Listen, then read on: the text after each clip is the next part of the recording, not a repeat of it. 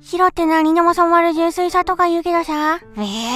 それは白さと純粋さを同一した意外やの願望に過ぎないと思うな。ウェイ。純白を純粋と呼ぶなら染まる色の良し悪しには関係なく白でなくなった瞬間に純粋ではなくなるわけでしょウェイ。つまり変化自体を拒絶しなければ純粋さは保れない。でも純粋さを保つためには自分が純粋であるという要件を満たすよう常にそのあり方を観測者の目線に合わせて変化させていかなきゃならないわけじゃない。